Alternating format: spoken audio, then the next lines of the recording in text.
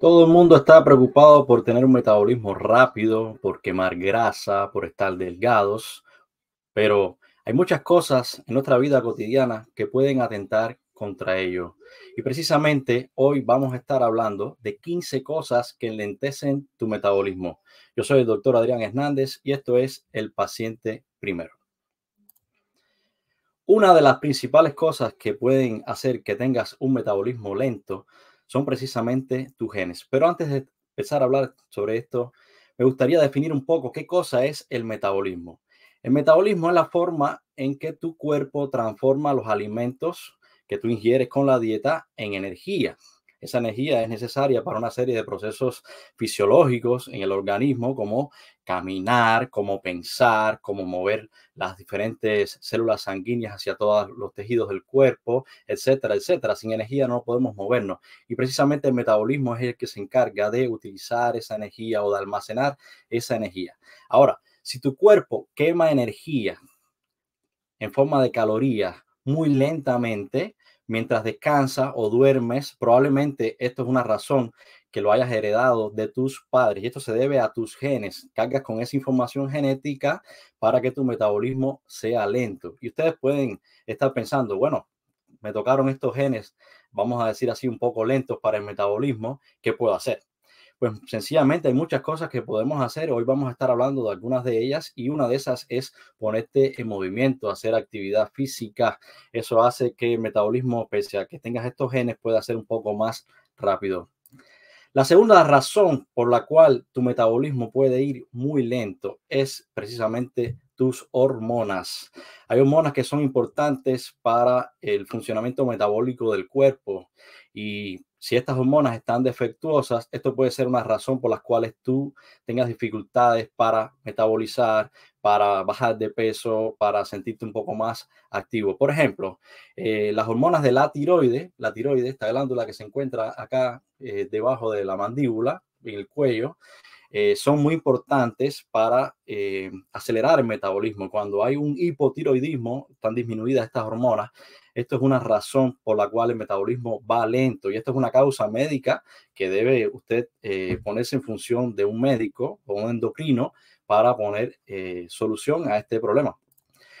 La tercera razón por la cual tu metabolismo va lento es tu falta de sueño. Y ustedes se preguntarán, ¿qué tiene que ver el sueño con el metabolismo? Pues mucho.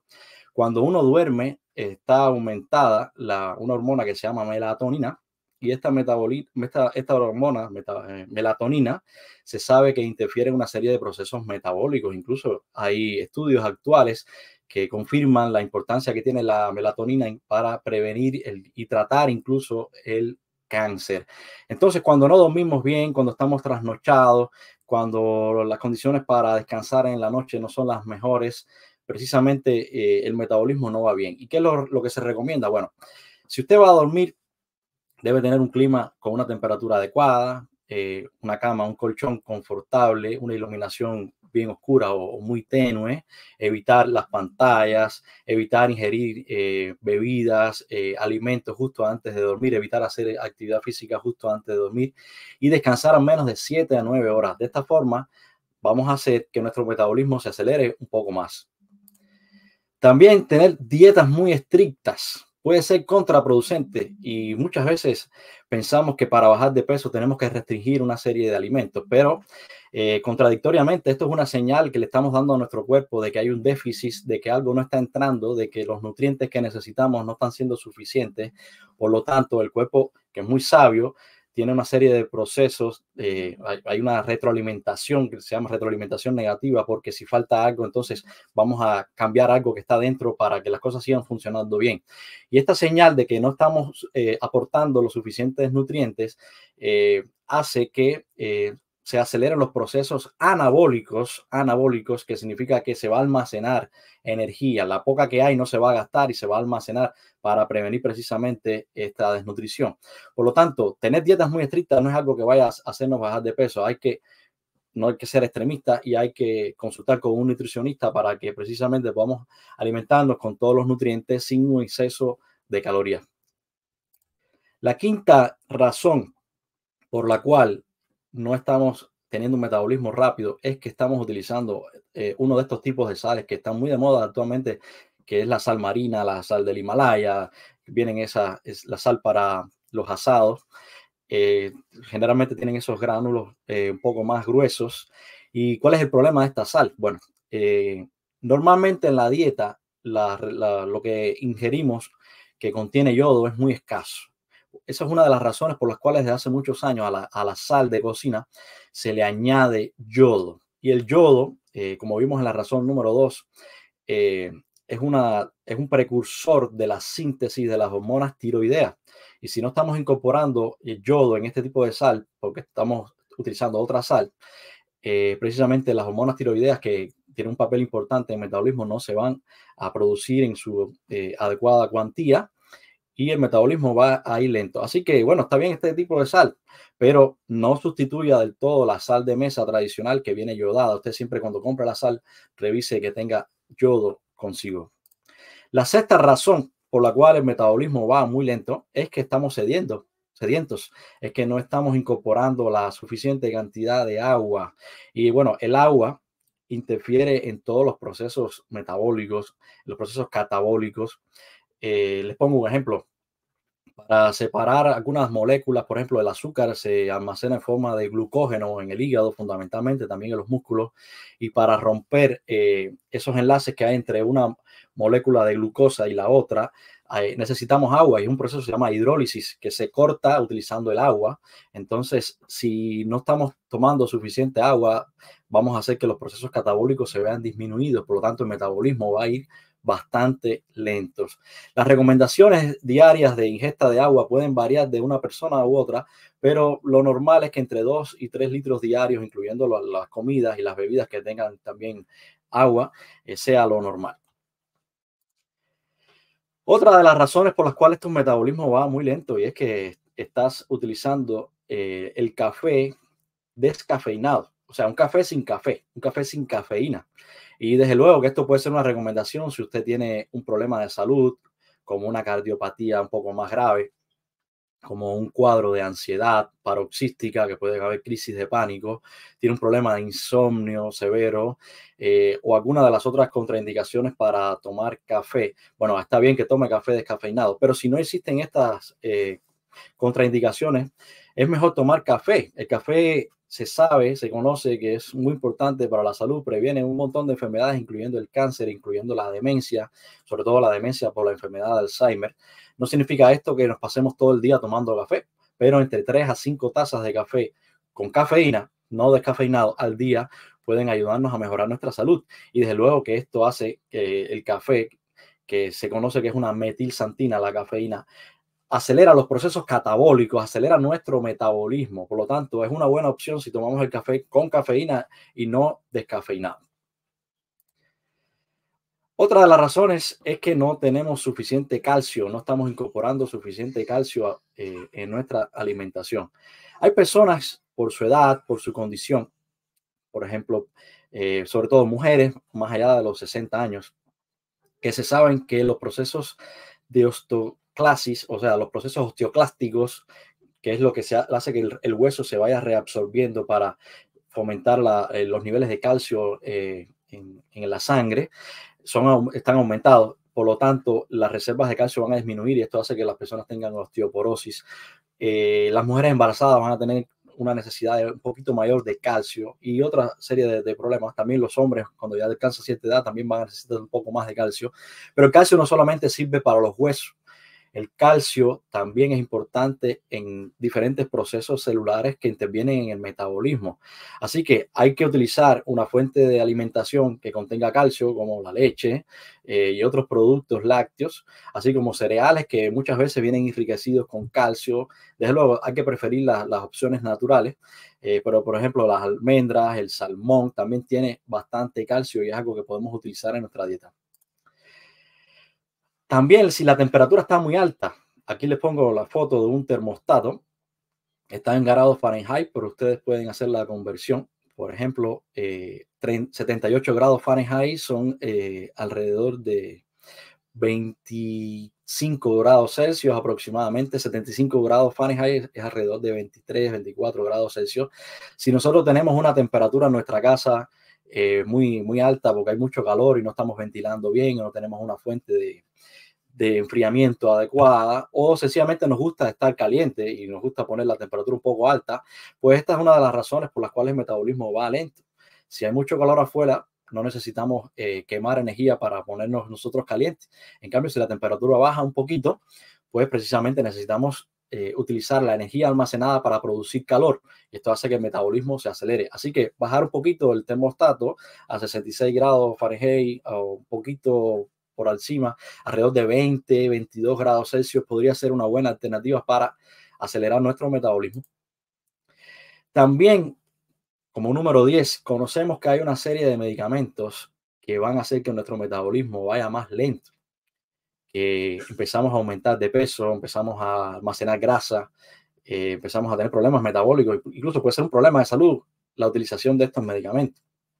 Entre esos están algunos de los medicamentos que se utilizan en psiquiatría, como los antipsicóticos, como entre ellos la risperidona, la olanzapina, la quetiapina, son de los que más hacen que el metabolismo vaya lento y un aumente de peso. También hay algunos antidepresivos como la mirtazapina, que podría hacer que nuestro metabolismo vaya más lento, y otro tipo de medicamentos que se utilizan para múltiples enfermedades.